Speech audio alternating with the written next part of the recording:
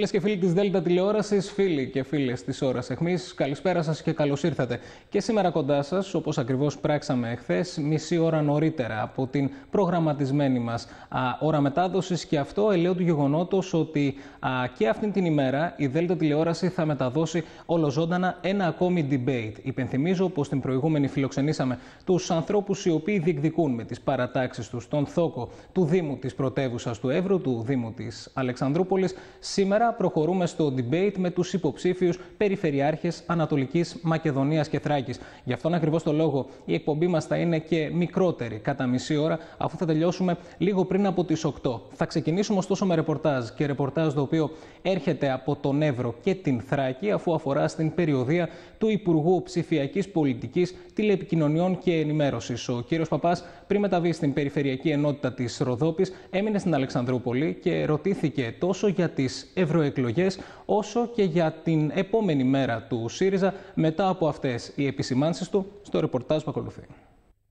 Στην Αλεξανδρούπολη βρέθηκε ο Υπουργός Ψηφιακής Πολιτικής, Τηλεπικοινωνιών και Ενημέρωσης Νίκος Παπάς, προκειμένου να συναντηθεί με στελέχη της Νομαρχιακής Επιτροπής του ΣΥΡΙΖΑ και υποψήφιους ευρωβουλευτές της περιοχής. Ο κ. Παπάς εξαπέλυσε ρηπές προς την πλευρά της αξιωματικής αντιπολίτευσης, λέγοντας μάλιστα ότι το κλίμα προς το κυβερνών κόμμα δυναμώνει μέρα με τη μέρα. Είμαστε μία εβδομάδα σχεδόν ε, πριν την κάλπη και ο ΣΥΡΙΖΑ Προοδευτική Συμμαχία έχει αναπτύξει μία δυναμική η οποία έχει αγκαλιαστεί από τον ελληνικό λαό οπουδήποτε και αν εμφανίζεται ο Πρωθυπουργός για δημόσιες ομιλίες. Το πολιτικό κλίμα για την παράταξή μας βελτιώνεται ραγδαία και εσείς είστε εκπρόσωποι των μέσων ενημέρωσης και γνωρίζετε και βλέπετε και ξέρετε ότι κάποιοι από εκεί που μιλάγανε για διαφορές των 20, των 15, των 12, των 8 μονάδων τώρα αρχίζουν και διασπείρουν ανοησίες περινοθείας. Λοιπόν, επειδή δεν βρισκόμαστε στο 1961 για να ψηφίσουν και τα δέντρα και επειδή η Ευρωπαϊκή Κάλπη δεν είναι σοκομματική κάλπη της Νέας Δημοκρατίας όπου κατήγγυλαν ο ένας τον άλλο υποψήφιο για νοθεία και παραβιάσεις των κανόνων ε, να είναι βέβαιοι ότι η εντολή του ελληνικού λαού θα είναι καθαρή και δεν θα επιδέχεται αμφισβήτησης. Τα μαντάτα τους έχουν έρθει και αυτονών, όπως έρχονται και σε εμάς. Ε, η δυναμική που αναπτύσσει το πλατή σχήμα το οποίο έχουμε συγκροτήσει είναι μια παρακαταθήκη για το μέλλον για τη συγκρότηση της μεγάλης δημοκρατικής παράταξης της αριστεράς η οποία θα εγγυηθεί την αριστερή μακροχρόνια διακυβέρνηση. Δεν δίστασε επίσης να κάνει αναφορά στο νομοσχέδιο των 120 δόσεων και τα ωφέλη που θα προσδώσει όχι μόνο στα νοικοκυριά αλλά και στους επαγγελματίες. Δημιουργήσαμε 400.000 θέσεις εργασίας. Στόχος μας είναι να το επαναλάβουμε την επόμενη τετραετία, κατέληξε ο Υπουργός. Είναι πάρα πολλοί αυτοί που θα λάβουν τη 13η σύνταξη. Είναι πολλά τα καταστήματα, τα μαγαζιά τα οποία εποφελούνται από τη μείωση του ΦΠΑ στην εστίαση, στο ρεύμα, στα τρόφιμα. Όλα τα νοικοκυριά θα επωφεληθούν από τις μειώσεις των τιμών και έρχονται και άλλα. Τα επιδόματα ενοικίου, τα επιδόματα παιδιών. Μιλάμε για την ανάπτυξη ενός πλέγματος θετικών μέτρων το οποίο έχει και την κοινωνική ευαισθησία και την ισορροπία τέτοια που μπορεί να εγγυηθεί τη συνέχιση της πορείας της δίκαιης ανάπτυξης. Την πρώτη τετραετία καταφέραμε και δημιουργήσαμε 400.000 νέες θέσεις εργασίας. Ο στόχος για την επόμενη είναι να το επαναλάβουμε. Η Ελλάδα αυτό χρειάζεται. Χάσαμε στην κρίση ένα εκατομμύριο δουλειές. Υπάρχει τρόπος να τις κερδίσουμε ξανά. Και ο τρόπος αυτός είναι η αριστερή προοδευτική διακυβέρνηση. Και σε αμυγός πολιτικό κλίμα θα παραμείνουμε, φίλες και φίλοι, καθότι προημερών φιλοξενήσαμε στο στούντιο της Ωρα Εχμή την Ευρωβουλευτή και εκ νέου υποψήφια για είσοδο στο Ευρωκοινοβούλιο με τον ΣΥΡΙΖΑ, την κυρία Κωνσταντίνα Κούνεβα. Σταθήκαμε με την βοήθειά της στην κρισιμότητα της κάλπης, η οποία έρχεται σε μόλις 9 ημέρες. Μας έδωσε τις δικές της απαντήσεις, αλλά και τα θέματα τα οποία βρίσκονται ψηλά στην ατζέντα της σήμερα, αλλά και για την επόμενη θητεία, την οποία φιλοδοξεί με την δική σας ψήφο να κερδίσει. Η ενεργεία Ευρωβουλευτής και εκ νέου υποψήφια με το κυβερνών κόμμα, με τον ΣΥΡΙΖΑ, κυρία Κωνσταντίνα Κούνεβα, είναι μαζί μας και την ευχαριστώ θερμότατα γι' αυτό. Κυρία Ευρωβουλευτά, καλησπέρα και καλή επιτυχία. Ευχαριστώ πάρα πολύ και ευχαριστώ για την πρόσκληση σας. Εμείς σας ευχαριστούμε θερμά για την αποδοχή. Αξίζει να πω και να αναφέρω στους τηλεθεατές μας ότι βρίσκεστε εδώ, ελέω του γεγονότος ότι και η συζήτηση είναι μαγνητοσκοπημένη με ομάδα ευρωβουλευτών του, του ΣΥΡΙΖΑ. Ένα κρίσιμο διακύβευμα αναμφίβολα στις κάλπες που έρχονται. Θέλω να ρωτήσω εσάς, κυρία Κούνεβα, αν το μήνυμα έχετε καταφέρει να το μεταδώσετε στην αρχή της Ελλάδος και της Ευρώπης, όπως λέμε εμείς, τον, τον Εύρο και τελικώς τι είναι αυτό που καθιστά αυτές τις ευρωεκλογές τόσο κρίσιμες για το παρόν και για την επόμενη μέρα της Ένωσης; Ε, να ξεκινήσουμε από το κομμάτι το οποίο δεν είναι πιο εύκολο να καταλάβουν οι πολίτες. Ότι στην επόμενη θητεία στο Ευρωκοινοβούλιο θα ψηφιστεί το 1 3 εκατομμύρια και 300 δις Πού τα πάνε, σε ποια προγράμματα τα πάνε. Τα τελευταία πέντε χρόνια ήταν ένας πολύ σοβαρός αγώνας για να καταφέρουμε ε, στο προγραμματισμό για τα οικονομικά της Ευρωπαϊκής Ένωσης να μπουν κοινωνικές δείκτες και περιβαλλοντικές δείκτες. Μέχρι τώρα, ε, τα οικονομικά κριτήρια έμπαινε ψηλά-ψηλά στη σκάλα ο ανταγωνισμός. Όμως αναδείχθηκε στην προηγούμενη θητεία ότι ο ανταγωνισμός καταστρέφει την κοινωνία και την οικονομία ότι δεν μπορεί να είναι αυτό που το κάνει την οδήγηση της οικονομίας. Και είδαμε ότι υπάρχουν ανάγκες από θέσεις εργασίας, υπάρχουν ανάγκες από πολιτικές, οι οποίες θα δώσουν δυνατότητα στο πραγματικό πλούτο της κοινωνίας μας να το αυξήσει. Αυτό είναι ο άνθρωπος. Είναι το εργατικό δυναμικό που έχουμε ο άνθρωπος. Και τι έχουμε; Τώρα, έχουμε σχεδόν δύο πόλους, να πούμε, αριστερά και δεξιά που εμφανίζεται τελευταία ε, σε όλη την Ευρώπη, το έντονα και στην Ελλάδα. Για ποιο λόγο, γιατί είμαστε 99% που έχουμε παράξει το πλούτο αυτό και 1% το οποίο προσπαθεί να το πάρει και να το διαχειρίσει. Βάλατε πολλά θέματα. Ε, θέλω να προσπαθήσω να σταθώ σε καθένα από αυτά με διαφορετική σειρά. Πρώτα-πρώτα, χρησιμοποίησατε έναν όρο που μου αρέσει πάρα πολύ να συζητώ και ιδίως σκεπτόμενος το, το ευρωπαϊκό οικοδόμημα, και αυτός είναι ο ανταγωνισμός. Δυστυχώς, και έχετε, έχετε απόλυτο δίκιο, κύριε Ευρωβουλευτά, ο ανταγωνισμός αυτή τη στιγμή ρυθμίζει τις σχέσεις πολλών χωρών μεταξύ τους. Και φοβάμαι ότι όλες προσπαθούν να ανταγωνιστούν εν πράγμαση η μία την άλλη για το ποιος τελικά θα πάρει το μεγαλύτερο κομμάτι της πίτας. Σε αυτή τη συνθήκη ανταγωνισμού μεταξύ κρατών, μεταξύ ισότιμων θεωρητικά κρατών μελών, πόσο καλό πλασάρισμα, πόσο καλή διεκδίκηση μπορεί να κάνει η δική μας χώρα με τα δεδομένα προβλήματα που έχει. Η ελληνική κυβέρνηση ξεκινήσε μια πάρα πολύ καλή κίνηση που έκανε μια πρότεινε και καταφέρουν και κάνανε τέσσερις χώρες από τα Βαλκάνια την οργάνωση για τη συνανάπτυξη στα Βαλκάνια. Γιατί για να μιλάμε για πολιτισμό και ανάπτυξη, δεν μπορούμε, να, δεν μπορούμε να μιλάμε και να κοιτάζουμε μόνο το δικά μας συμφέρον. Πρέπει να δούμε και τους γειτονές μας. Και έτσι το παράδειγμα της Ευρώπης είναι αυτό το βαλκανικό παράδειγμα για τη συνανάπτυξη. Και νομίζω ότι όλοι μπορούμε να χρησιμοποιήσουμε αυτή τη ιδέα και να κάνουμε αυτή τη πολιτική για συνανάπτυξη στα Βαλκάνια. Μιλούμε για συνανάπτυξη, μιλούμε για κοινά συμφέροντα μεταξύ κρατών. Ε, έχω την εντύπωση και είμαι σίγουρος ότι το σκέφτεται πολλοί κόσμος που θα μας δει και θα μας ακούσει, πως κάποτε μιλούσαμε για δύο ταχύτητες στην Ευρώπη. Μιλούσαμε για το Βορρά, μιλούσαμε για τον Νότο.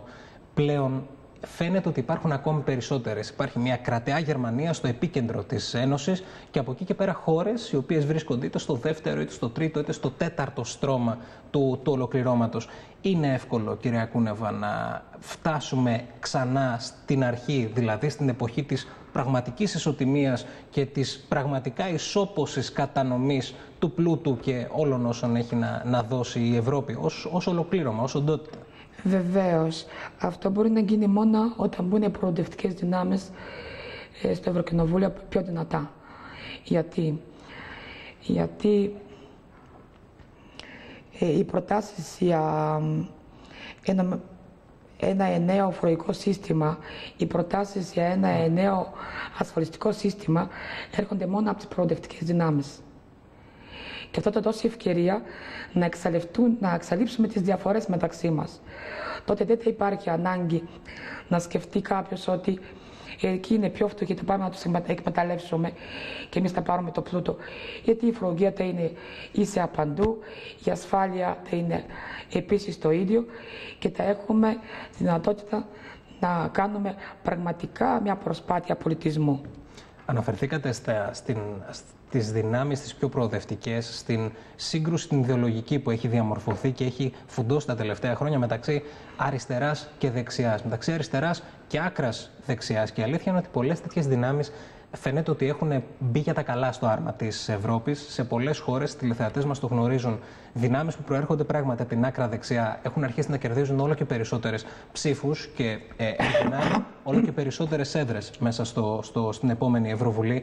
Αναχαιτίζεται πλέον αυτή η πραγματικότητα, μπορεί να καταπολεμηθεί, κυρία Κουνέβα, ή έχει, έχει ριζώσει μέσα στην Ευρώπη; Αυτό μπορεί να καταπολεμηθεί μόνο με την ανάπτυξη. Μόνο με την εξάρτηση της φτώχειας για ποιο λόγο; Γιατί όλες αυτές οι πολιτικές ε, χρησιμοποιούν αυτά τα εργαλεία της φτώχειας, των διαφορετικών ανθρώπων. Όταν όμως υπάρχει μια ανάπτυξη, δεν θα υπάρχει τόσο μεγάλη διαφορά στην κοινωνία και δεν θα υπάρχει και η αιτία για να αναπτύξουν ακροδεξιές δυνάμεις. Και ποιο λόγο τώρα εμφανίζουν ακροδεξιές δυνάμεις; Γιατί η δεξιά από μόνα τους δεν μπορούν να αρπάξουν όλα θέλουν και τα εργαλεία τους. Θέλω να σα ρωτήσω το εξής. Ε, είστε μέσα στην Ευρωβουλή πλέον στο, στο πέμπτο έτος. Ε, προλάβαμε off camera πάρα πολύ γρήγορα να συζητήσουμε για το κατά πόσο η φρεσκάδα της πρώτης φοράς έχει αντικατασταθεί από την εμπειρία της τωρινής. Μιλώντας στους ανθρώπους που θα μας δουν και θα μας ακούσουν, τι πιστεύετε ότι είναι, ποιο πιστεύετε ότι είναι το, το δυνατό σας χαρτί, κυρία Κούνεβα, για την υποψηφιότητα που θέτετε, γιατί εκ νέου σε 19 μέρες πρώτο ο Θεός βάζετε εκ νέου τον εαυτό σας στην διάθεση των, των συνανθρώπων μας. Ναι. Ε, εγώ κατάφερα μέσα στα τέσσερα χρόνια, τα οποία ήταν πιο εναργά, γιατί ο τελευταίος χρόνος είναι ολοκλήρωση των φακέλων, ε, να μάθω όλα τα εργαλεία που, έχει, που δίνει το Ευρωκοινοβούλιο και οι ευρωπαϊκές οργανώσεις. Και ε, έκανα 33 νομοθετήματα μέσα στα τέσσερα χρόνια, πέντε. Ε, νομίζω ότι αποκτήσα μια πάρα πολύ καλή εμπειρία. Μια εμπειρία για την εργασία και την κοινωνική πολιτική. Μια εμπειρία της γυναίκες, την ισότητα. Μια εμπειρία την αναπηρία. Μια εμπειρία τα δικαιώματα στην Ευρώπη. Και αυτό μου δημιούργησε και άλλες ιδέες και άλλα όνειρα το οποίο μπορώ να δουλέψω. Και πιστεύω όπως κατάφερα μετά από τρία χρόνια προσπάθεια να εντάξω και να ψηφιστεί στο Ευρωκοινοβούλιο η πρότασή μου να, να αντιμετωπίζεται ίσια οικονομική και κοινωνική πολιτική και να βάλουμε και την περιβαλλοντική πολιτική. Για πρώτη φορά συμβαίνει αυτό. Θα καταφέρω και τα άλλα που και πολύ αργήσαμε, θα πω εγώ, να βάλουμε Βεβαίως. την περιβαλλοντική πολιτική. Οι καμπάνες χτυπούσαν, μάλλον δεν τις ακούσαμε. Επιτρέψτε με ένα, ένα, ένα αμυγός πολιτικό ερώτημα, γιατί είναι προφανές ότι οι δύο δυνάμεις που θα πρωταγωνιστήσουν και σε αυτές τις ευρωεκλογές είναι ο ΣΥΡΙΖΑ και η Νέα Δημοκρατία, η Νέα Δημοκρατία και ο ΣΥΡΙΖΑ. Δεν μπορώ α, παρά να σας ρωτήσω, για, να, να μου σχολιάσετε τα νούμερα που βλέπουμε στις δημοσκοπήσεις. Φαίνεται μια αρκετά μεγάλη ψαλίδα μεταξύ Νέας Δημοκρατίας και ΣΥΡΙΖΑ. Τελικώς πιστεύετε ότι αυτό θα αποτυπωθεί στην κάλπη, θα είναι πρώτο κόμμα και με κάποια διαφορά η Νέα Δημοκρατία ή όχι; Δεν υπάρχει λόγος να είναι Νέα Δημοκρατία πρώτο κόμμα. Είναι διάφανα αυτά που κάνουν. Η πολιτική τους δεν στέκεται πουθενά. Η πολιτική που προτείνει και που προσπαθούμε να κάνουμε για το 99% της κοινωνίας μας είναι ΣΥΡΙΖΑ και Προοδευτική Συμμαχία να κλείσω με ένα ερώτημα που έχει να κάνει με το σύνολο των, των υποψηφιωτήτων. Ρώτησα για εσάς προηγουμένως. Θα κλείσω ρωτώντας για το σύνολο του Ευρωψηφοδελτίου. Ε, ονόματα τα οποία ανακοινώθηκαν. Είχαμε τη δυνατότητα μέχρι τώρα να φιλοξενήσουμε κάποιους κάποιους από εσάς. Θα έχουμε τη δυνατότητα να φιλοξενήσουμε ακόμη περισσότερους ε, μέχρι, τις, ε, μέχρι την κάλπη. Τελικώς, κυρία Κούνεβα, ακούσαμε για εσάς. Γιατί να στηρίξει ο Έλληνας πολίτης, ο Έλληνας ψηφοφόρος μας ακούει αυτή τη στιγμή και θα μας ακούσει αργότερα και στο α, διαδίκτυο. Γιατί να στηρίξει τον, το ΣΥΡΙΖΑ στις επερχόμενες κάλπες; Ε, να πάρουμε παράδειγμα ε,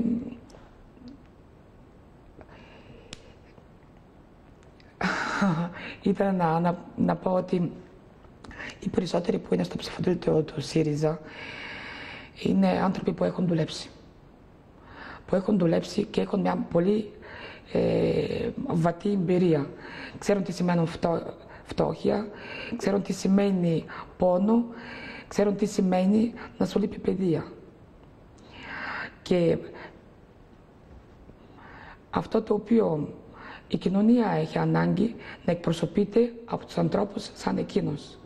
Οι άνθρωποι που ξέρουν την εργασία και τα προβλήματα της εργασίας. Ας πούμε εγώ, έχω δουλέψει σε συνεργείο. Ξέρω τι σημαίνει να είσαι υπάλληλος σε ένα συνεργείο. Ξέρω τι σημαίνει να πηγαίνεις στη δουλειά και να μην ξέρεις πώς θα τελειώσει η βάρδια σου. Με τη βία που υπάρχει, με την επίθεση που υπάρχει. Και φαίνεται και σε μένα αυτό που μιλάω. Δεν μιλάω κάτι το οποίο δεν είναι αλήθεια. Οι άνθρωποι της εργασίας μπορούν να φέρνουν πολιτική για τους ανθρώπους της εργασίας. Και αυτό είναι 99% από την κοινωνία μας. Θα σα ευχηθώ την καλύτερη δυνατή επιτυχία σε εσάς και στο, στο ψηφοδέλτιο στο σύνολό του. Σας ευχαριστώ θερμότατα για την συζήτηση και για την παρουσία στο στούντιο, φυσικά, κυρία Κούνεβα. Πραγματικά σας ευχαριστώ θερμά. Και εγώ ευχαριστώ.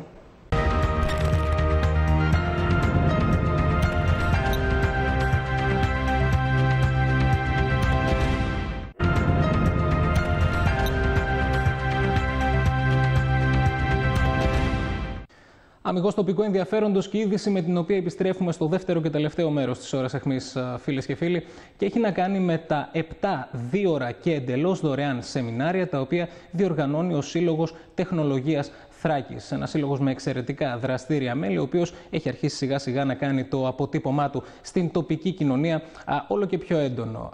τα σεμινάρια αξίζει να σημειωθεί ότι θέτουν στο επίκεντρό τους την ασφάλεια στο διαδίκτυο.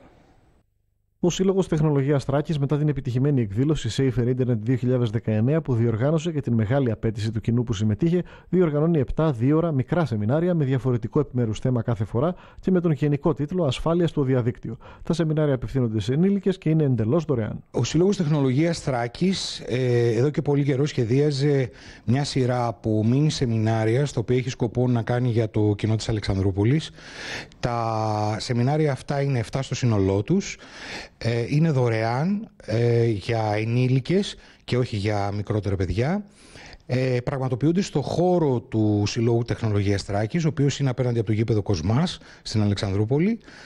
Ε, και σκοπό έχει να γίνονται ε, κάθε Τετάρτη ένα μίνι σεμινάριο με γενικότερο θέμα την ασφάλεια στο διαδίκτυο και με ειδικότερα θέματα, διάφορα θέματα τα οποία έχουν να κάνουν όπως για παράδειγμα τις αγορές online, τα προσωπικά δεδομένα, τα, τις ρυθμίσεις στα Windows, τα κινητά τηλέφωνα και διάφορα άλλα θέματα που πιστεύουμε ότι ε, είναι πάρα πολύ χρήσιμα έτσι ώστε το, οι πολίτες της ε, πόλης να αποκτήσουν πολύ βασικές γνώσεις ε, στην, στην καθημερινή τους χρήση του διαδικτύου. Στόχος είναι μέσω των ποικίλων θεματικών ενωτήτων οι ενδιαφερόμενοι να μάθουν να περιηγούνται με ασφάλεια στο διαδίκτυο. Υπάρχουν σεμινάρια για το παιδί και τους γονείς, για τις διαδικτυακές αγορές, για τα social media, ακόμα και τα κινητά τηλέφωνα. Όλο αυτό προήλθε από την ε, πολύ μεγάλη προσέλευση που είχαμε κάνει για τον εορτασμό της Ευρωπαϊκής Μέρας Ασφαλούς Διαδικτύου ε, στο σύλλογό μας και από εκεί προέκυψε όλη αυτή, είδαμε την ανάγκη που έχει ο κόσμος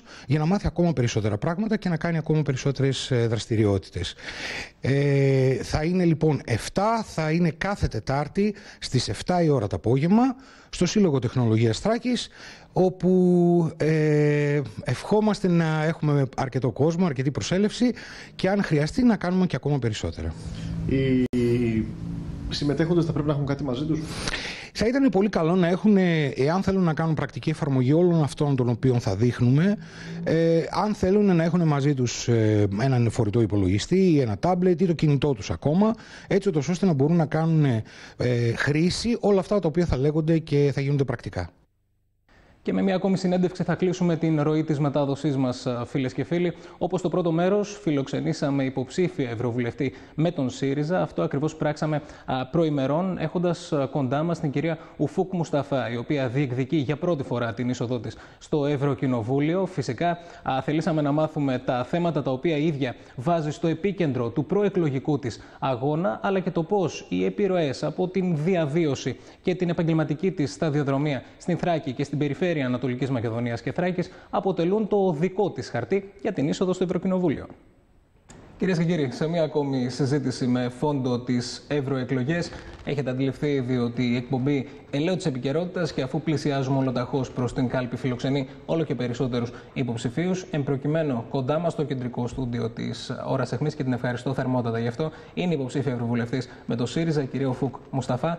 Καλησπέρα και πραγματικά σας ευχαριστώ που είστε κοντά μας. Εγώ σας ευχαριστώ. Εγώ σας ευχαριστώ για την πρόσκληση. Χαιρόμαστε ιδιαίτερα που φιλοξενούμε μια φωνή η οποία είναι και από την περιοχή και αξίζει ναι. να ξεκινήσω τη συζήτηση ακριβώς με, με γνώμονα την, την προέλευσή σας αλλά και την περιοχή στην οποία βρίσκεστε. Ναι. Καθόλου ναι, ναι. ξένη η δική μας περιφέρεια. Έτσι. Κατάγεστε από εδώ, ζείτε εδώ, εργάζεστε εδώ. Mm -hmm. Πώς είναι η δική σας απόφαση για, για ενασχόληση και τι είναι αυτό που επιζητάτε μέσα από την, mm. μέσα από την Ευρωβουλή; Μιας και το πιάσαμε από την περιοχή της προέλευσής μου. Η Κομωτινή, όπως ξέρετε, και η Θράκη γενικότερα είναι μια πολυπολιτισμική περιοχή, όπου και εγώ σαν μέλος της μειονότητας της Θράκης ε, ξέρω από πρώτο χέρι το πόσο ε, δύσκολος και δύσβατος είναι ο δρόμος για την πραγματική ισονομία και ισοπολιτεία, αλλά και λόγω αυτού ξέρω και πόσο πολύτιμες είναι οι έννοιες της πολυπολιτισμικότητας, του σεβασμού προς το διαφορετικό, της αλληλεγγύης. Όλα αυτά τα λέω διότι δεν είναι άσχετα και η απόφασή μου να κατέβω στις ευρωεκλογές ήταν ότι επειδή αυτή τη στιγμή με την άνοδο της ακροδεξιάς, ε, στην Ευρώπη γενικότερα, υπάρχει μια προσπάθεια στοχοποίησης και να κατηγορήσουν ότι για όλα ευθύνεται ο διαφορετικός, έτσι. Είτε είναι ο πρόσφυγας, είτε είναι ο μετανάστης, είτε είναι ο αλόθρησκος και αυτά.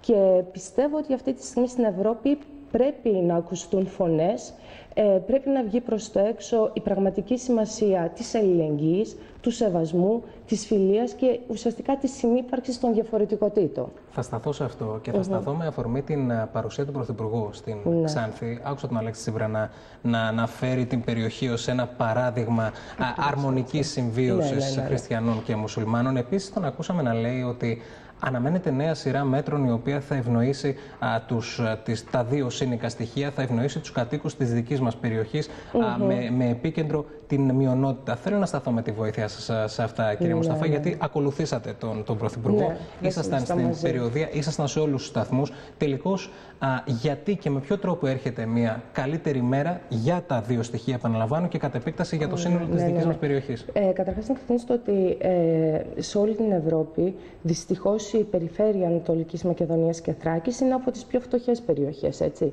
Οπότε, χθες, όπως είπε και ο Πρωθυπουργός ο Αλέξης Τσίπρας, ε, έγιναν ε, αρκετές ενέργειες και προγράμματα για την ανάπτυξη γενικότερα της περιοχής. Και όσον αφορά τα μειονοτικά ζητήματα, είναι η πρώτη φορά που με αυτή την κυβέρνηση θύχτηκαν και ανοίχτηκαν ουσιαστικά προς διάλογο κάποια θέματα που οι προηγούμενες κυβερνήσεις τα θεωρούσαν ως ταμπού ή απλά έτσι τα κουμπούσαν επιφανειακά. Ε, αυτά είναι τα θέματα όπως για τη διοίκηση των βακουφίων και των μουφτιών. Ε, καταργήθηκε η υποχρεωτικότητα της Σαρίας στην Κομωτινή, που εμένα ως δικηγόρο ε, το χάρηκα πάρα πολύ, πραγματικά χάρηκα. Ήταν ένα δίκαιο αίτημα που έπρεπε να γίνει η κατάργηση της υποχρεωτικότητας της Σαρίας. Μετά έγινε ουσιαστική ανασχόληση με την εκπαίδευση των παιδιών της μειονότητας. Και αυτό επιτρέψτε να πω, δηλαδή δείχνει έναν δρόμο το ότι αυτή η κυβέρνηση δεν φοβάται να ακουμπήσει τέτοια ζητήματα, δεν φοβάται τον διάλογο και δεν φοβάται να επιλύσει κάποια χρόνια ζητήματα. Και εγώ είμαι βέβαιη πως και στο επόμενο διάστημα τέτοιου είδους ενέργειες, τέτοιου είδους πολιτικές και προγράμματα θα συνεχίσουν να υπάρχουν. Πάντα στο πλαίσιο της ισονομίας και της ισοπολιτείας που η αριστερά εξ αρχής ανέκαθε χρόνια τώρα υποστήριζε και βρισκόταν δίπλα στα αιτήματα και στα δικαιώματα της μειονότητας. Στην αρχή της συζήτησής μας αναφερθήκατε στην άνοδο της ακροδεξιάς. Είναι mm -hmm. γεγονός ότι πολλοί συνυποψήφοι σας, αλλά και, και στελέχοι και υποψήφοι στην εγχώρια πολιτική σκηνή έχουν mm -hmm. ανοίξει. Δηλαδή το πόσο, το πόσο μεγάλη ανησυχία έχει ήδη προκαλέσει στην Ευρώπη το γεγονός mm -hmm. ότι έχουμε άνοδο ακροδεξιών δυνάμεων ναι. σε πολλά μέλη της της Ένωσης. Τελικώς και το δικό μου ερώτημα, και είναι ένα ερώτημα το οποίο, κυρία Μουσταφά, έχω μεταφέρει και σε άλλους mm -hmm. συνυποψήφιους ευρωβουλευτές, είναι αν είναι ένας κίνδυνος ο οποίος πλέον αντιμετωπίζεται, αν μπορεί να μπει ένα ορατό ανάχωμα στην, στον, στον συγκεκριμένο κίνδυνο, ή αν ο, οι καμπάνες του προηγούμενου διαστήματος mm -hmm. και η γιγάντωσή του τα προηγούμενα χρόνια έχουν φτάσει σε τέτοιο βαθμό που το καθιστούν πολύ δύσκολο, ως αδύνατο να καταπολεμηθεί. Mm. Λοιπόν, εγώ πιστεύω ότι ειδικά εμείς οι νέοι άνθρωποι οφείλουμε και πρέπει να είμαστε αισιόδοξοι. Σε όλο αυτό το κλίμα τα τελευταία τέσσερα χρόνια, σε αυτή τη κρίση της Ευρώπης, ε, η Ελλάδα έδωσε το παράδειγμα, έτσι. Έδωσε το παράδειγμα το πώς από μια πολύ ασφικτική οικονομική κατάσταση πώς μπορούν αριστερές κυβερνήσεις να πάρουν τα ενία στα χέρια τους και να σταθούν ουσιαστικά δίπλα στους φτωχούς, δίπλα στις μη προνομιούχες ομάδες και πώς να είναι δίπλα στο, λαό και να, δίπλα στο λαό και να βγουν από αυτό με την κοινωνία όρθια. Ε, νομίζω και είμαι βέβαιη βασικά ότι και στην Ευρώπη με την άνοδο των ε, προοδευτικών αριστερών δυνάμεων, με την άνοδο των πρασίνων, ε, δίνοντας τα μηνύματα της ε, ουσιαστικής αλληλεγγύης και συνύπαρξης, όπως είπα, με αναδιονομή του πλούτου που να μην συμμαζεύεται στους λίγους και στους ελίτ, αλλά να γίνεται μια δίκαιη διανομή του πλούτου με ε, ευκαιρίες εργασίας για τους νέους, με ελεύθερη πρόσβαση για τους νέους επιστήμονες σε γνώσεις, όλα αυτά τα προβλήματα εγώ πιστεύω ότι θα λυθούν. Η άνοδος της ακροδεξιάς πρέπει να σταματήσει. Οφείλει να σταματήσει, διότι αυτό είναι μια ε, αντίδραση, δηλαδή είναι ε, άρρηκτα συνδεδεμένο με τις νεοφιλελεύθερες πολιτικές που ακολουθούνται. Κατά μένα, δηλαδή, οι, οι νεοφιλελεύθερες πολιτικές και οι πολιτικές οικονομικές της λιτότητας επιφέρουν την άνοδο της ακροδεξιά. Οπότε, με μια πιο δίκαιη αναδιονομή του πλούτου, όταν δίνεις τα μνήματα το διπλανό σου, δεν πρέπει να τον φοβάσαι, αλλά να είστε μαζί χέρι-χέρι να παλεύετε για ένα καλύτερο αύριο.